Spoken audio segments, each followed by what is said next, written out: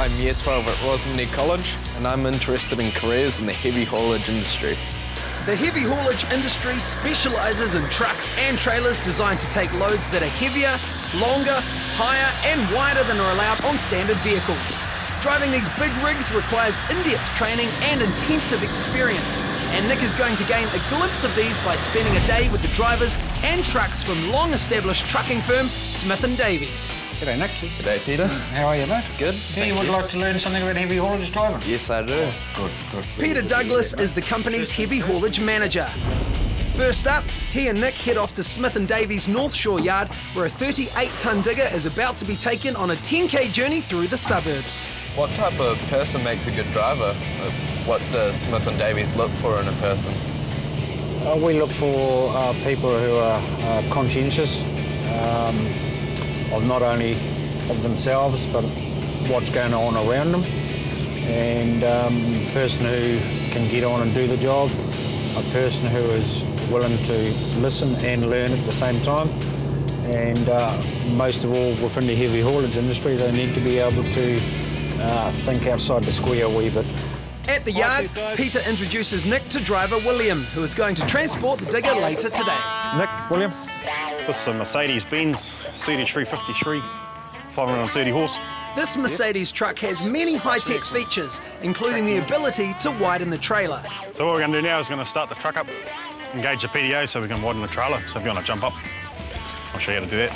PTO stands for Power Takeoff, a unit that diverts the engine power to the trailer's hydraulics. So now you can hear the PTO's engaged, now we can widen the trailer. So why do we widen the trailer?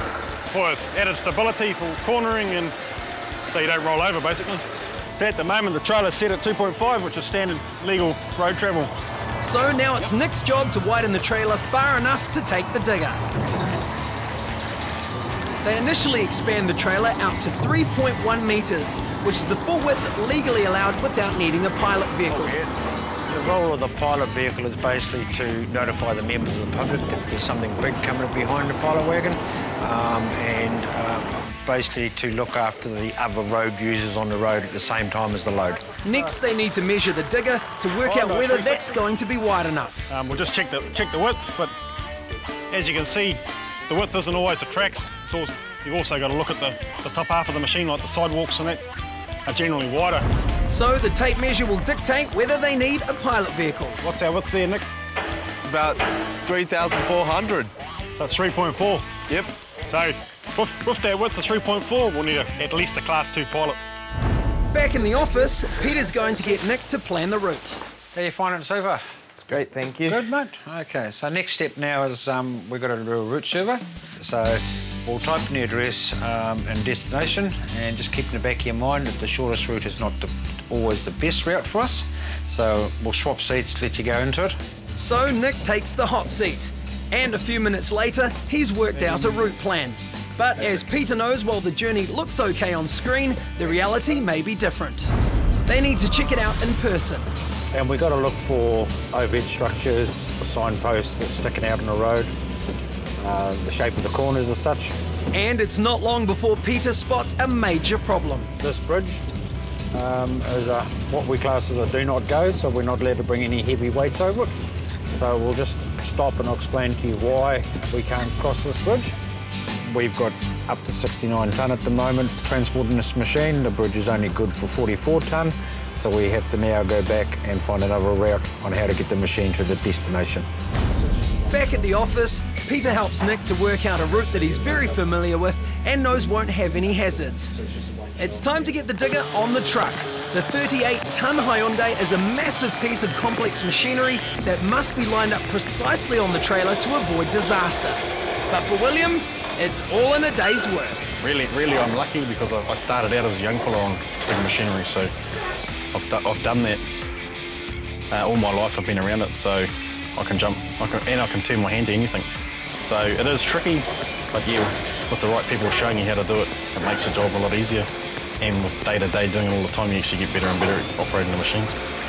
With the load secure, they are ready to roll. Almost. Okay, Nick, we're gonna. The office has just emailed us a supplementary license for the extra weight that we're carrying, over 42 tonne. So I'll just print it out on the printer over here.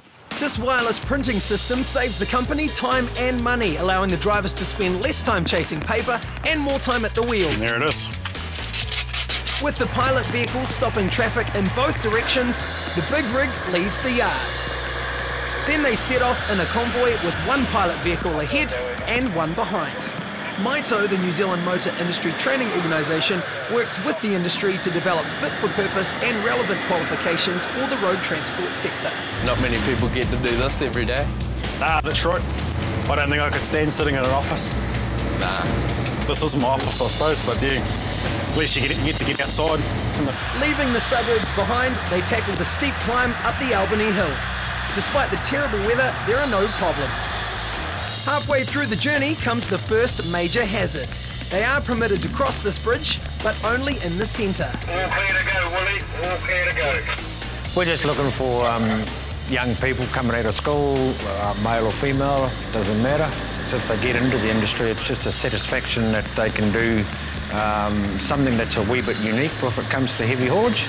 Um, you go from 10 tonne machines up to, we, we can go up to 82 tonne machines, and it's just a challenge and personally satisfaction of getting the job done at the end of the day safely without no minimal damage. So, how is young Nick Dunn as a potential heavy haulage driver?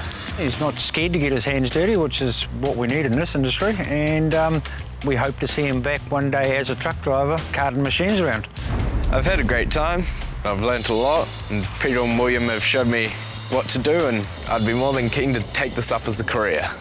MITO facilitates training for drivers in the heavy haulage industry, including the National Certificate in Heavy Haulage, Transportation, and Class 1 Pilot. These programs are designed to teach the skills required to safely load and operate an over-dimensional vehicle and pilot vehicles. For more information, visit mito.org.nz.